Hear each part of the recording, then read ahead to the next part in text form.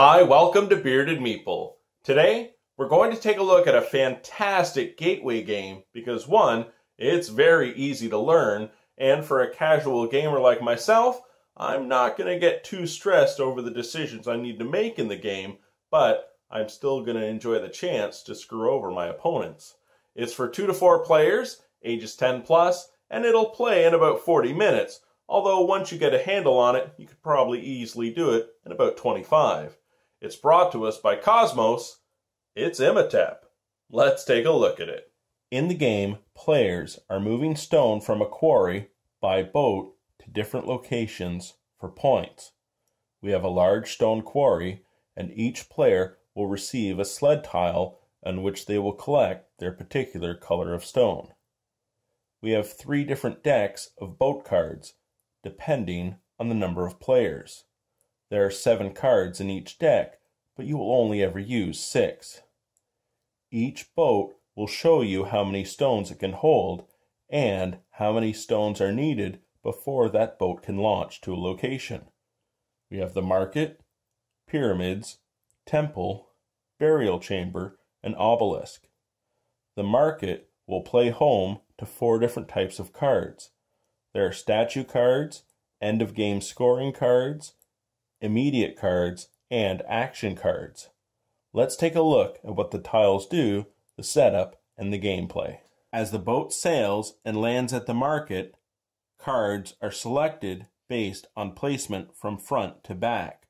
So brown would select, then white, then brown again, and then gray.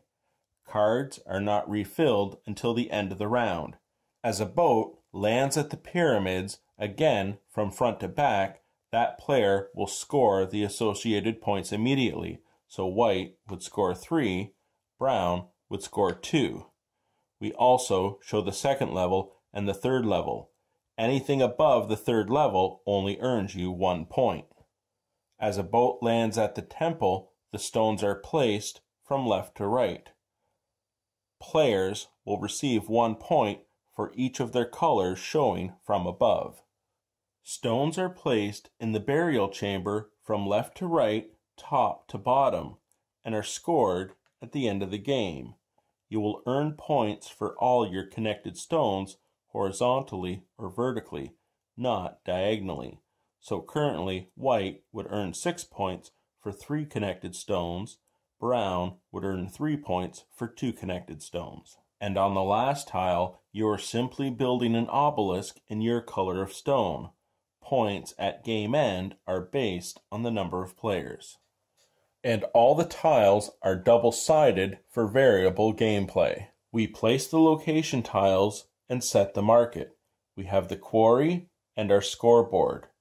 We have three players, so we select the appropriate deck. Remember, we only use six of the seven cards. We flip the top card and we select the appropriate boat tiles. Depending on turn order, you will begin with certain amounts of stones on your sled. We're ready to begin. On your turn, you can do one of four possible actions. Get new stones, place one stone on a ship, sail one ship to a site, or play a blue market card. When you get new stones, you can only ever take a maximum of three and add them to your sled.